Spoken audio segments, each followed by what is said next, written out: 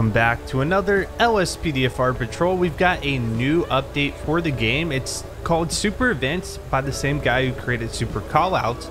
And what it does is create some ambient events within our GTA 5 world that we can respond to as a police officer. As always, if you want to check out any of the mods I use, check out the link in the description for the mod list. We're using the same card pack by Tickle My Elmo that we've been using for the past few patrols. Also, we'll be streaming live at noon on Sunday, September 22nd, I believe.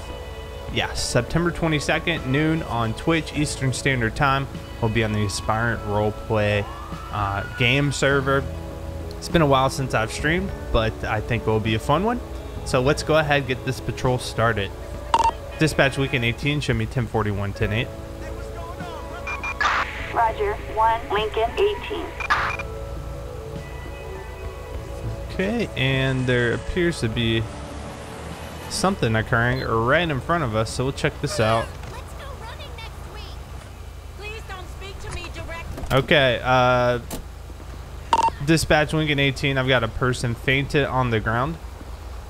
10 4. Citizen, get the Requesting fuck out ambulance? Way. Ambulance. Backup required on Eastbourne Way.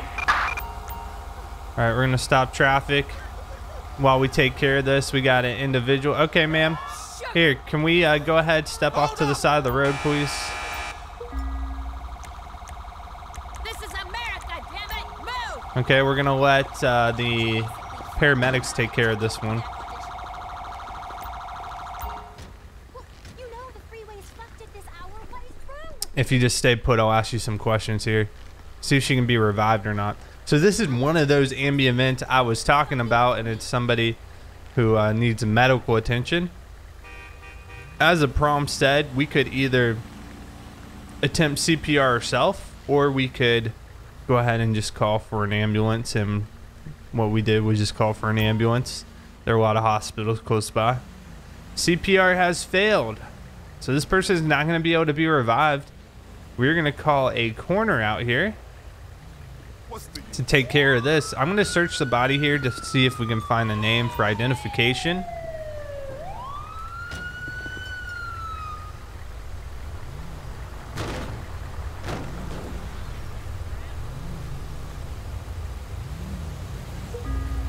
All right, we got the name of Gemma Tita. She's got a veteran's ID card on her, so that's how we saw the name. Uh, she's got several Molotov cocktails for whatever reason, not sure, in a tiny velvet sack containing five loose diamonds. Very interesting. Requesting coroner. Backup required on Eastbourne Way. Yep, we're gonna be Eastbourne Way, right in front of the police station.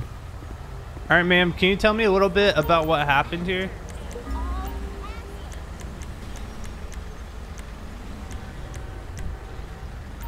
I'd rather not get involved. Well, you seem to be pretty concerned there. When I pulled up, you um, looked like you're trying to render assistance in some way to this person.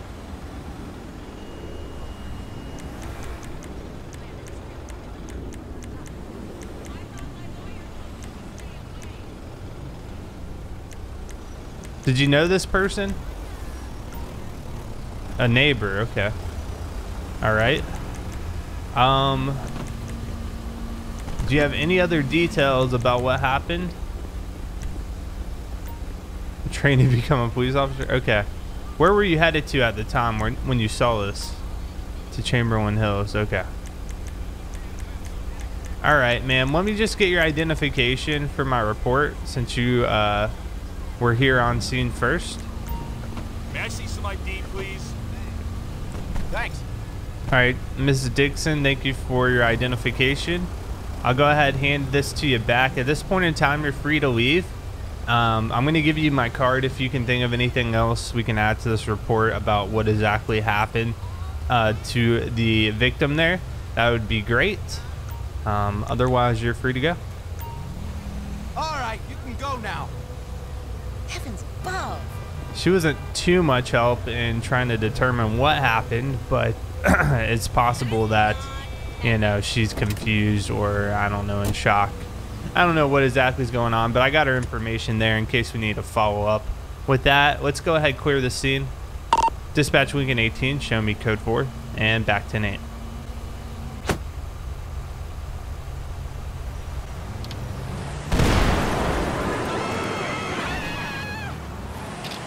Oh, we got a vehicle on fire.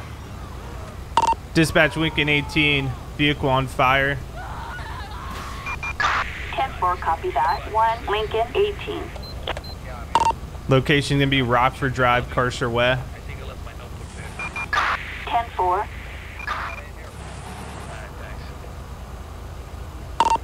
Requesting fire.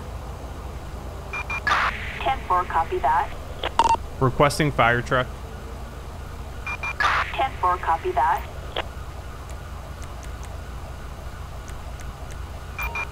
Fire truck, assistance needed on, um, Rockford Drive.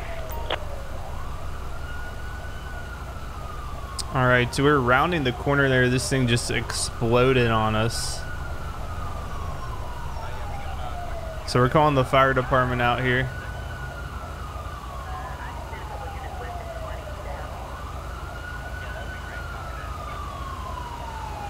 Right now, we're just blocking off traffic our way.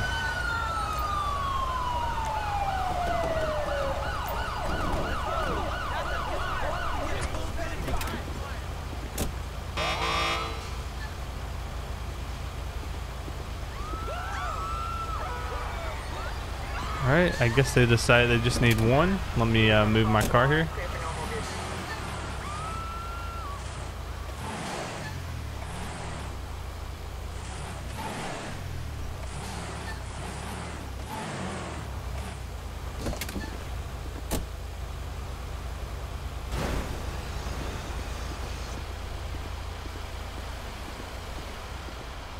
All right, once this has been cleared, we'll go ahead and check it out for ourselves. See if we can find anything in the wreckage. Sometimes that'll give us clues about exactly what happened, and sometimes we can pull a plate number, see who the car is registered to, things of that nature. To me, it sounded like an explosion going off in the car. Oh, it looks like there is somebody that was in the vehicle at the time. They are attending to them right now.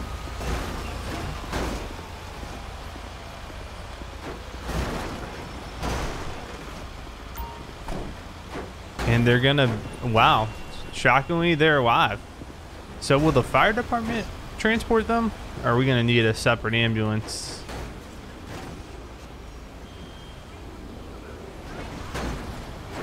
All right, looks like he's gonna go with the firefighters.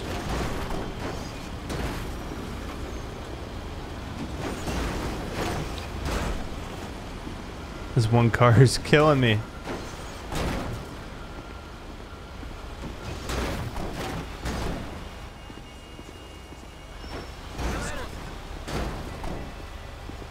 All right, yep, they loaded them in. Let's make sure they can get out of here, okay? We'll keep this road still shut down while I take a look at this vehicle. Oh yeah, the plate is intact. Requesting plate check. 346 Edward Edward King 572. Suspect's license plate. 4, 6, Edward, Edward, King, 5, 7, 2. A traffic violation. Proceed with caution. Copy that, dispatch. 10-4, copy that. 1, Lincoln, 18. Okay, Mikey Sampson is his name. I don't think that's the registered owner of the vehicle. Nope. Let's see if we can find anything in here. Nice and crispy. We got a tire and iron, a tire iron, and a box of Vinewood zombie memorabilia. So nothing really there to be concerned about.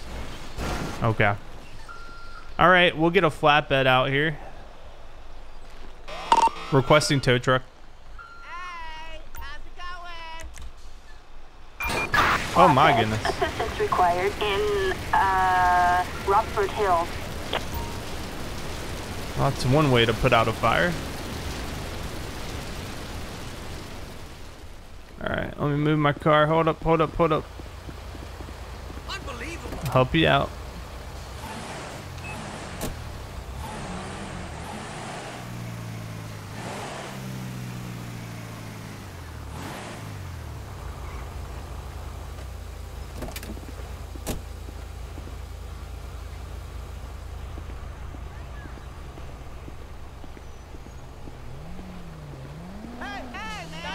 All right, vehicle has been picked up. We'll go ahead, get traffic start to resume.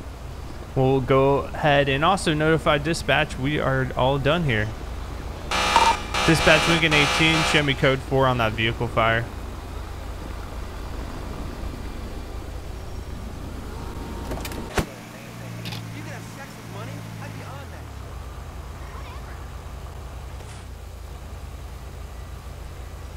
Dispatch Lincoln 18, we've got a person with a gun.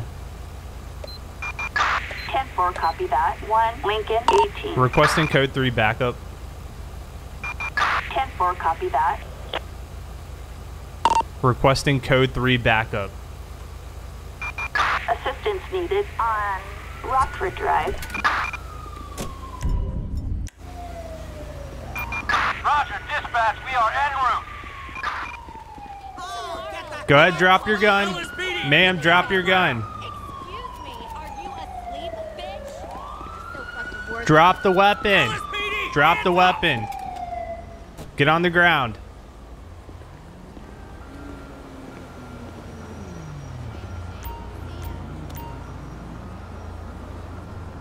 You're under arrest. How are you doing?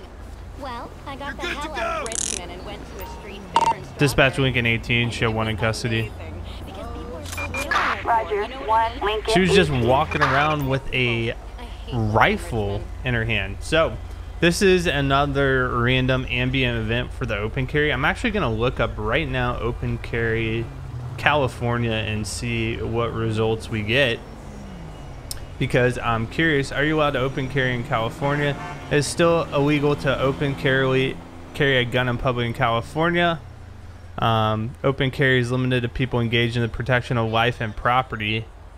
So I would say it is illegal to have that. Uh, we base Los Santos laws off the real life California laws.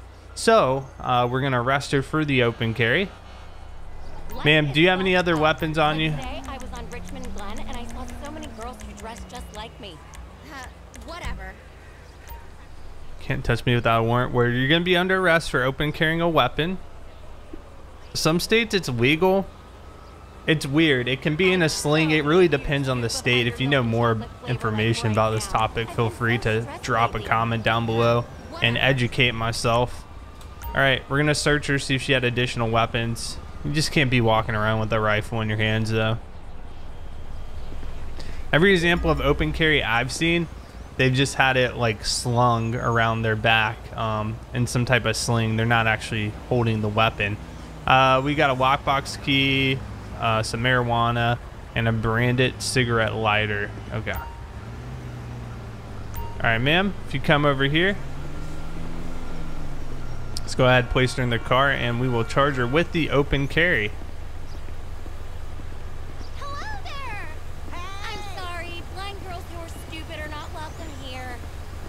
A great mod we do need for LSPDFR, I think, is the ability to search serial numbers on a gun. That way we can determine if they're stolen or not. Because at the moment, we don't have that ability. Because if she was open carrying a, a stolen gun, obviously that'd be an additional charge.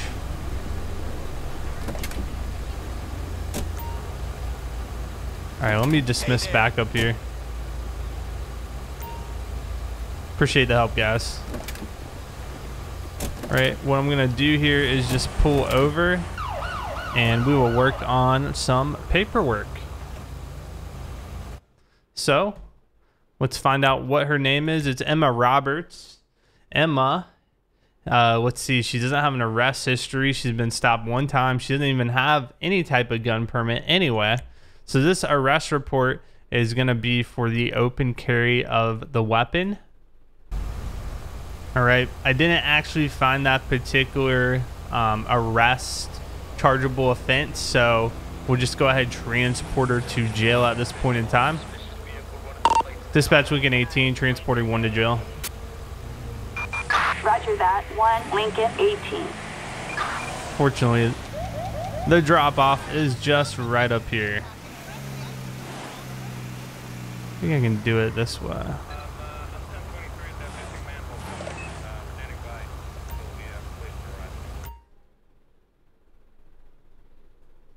All right, let me see if this is working.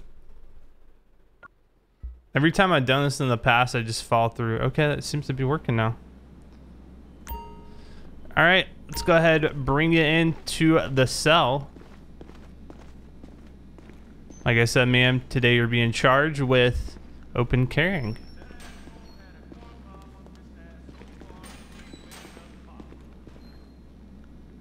Okay, now to leave, I believe, do I just go out the way I came in? Yes. All right, and we're back where we left off. Well, that's going to conclude today's patrol, taking a look at the super events, new Ambi event system. Let me know what you think. Um, I might go back to the old Computer Plus system. I just find uh, there's more charges, and I kind of like the layout better because it actually looks like a real life computer system. But let me know on your thoughts. Uh, Com- CompuLite versus uh, Computer Plus, what your preference is. As always, thank you so much for watching, and make sure to tune in tomorrow, Sunday, September 22nd at noon on Twitch for uh, a GTA 5 roleplay stream. We'll catch you later.